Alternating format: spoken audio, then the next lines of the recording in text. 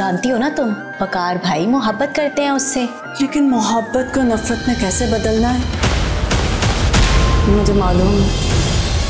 है तहजीब लोग हैं इन्हें पता ही नहीं कि किसी के घर कैसे जाते हैं। घर आए हुए मेहमान से इस तरह बात की जाती है। इसको तमीज कहते हैं आप। जिस घर में तुम्हारे माँ बाप की इतनी जिल्लत हुई तुम अब भी यहाँ रहना चाहती हो।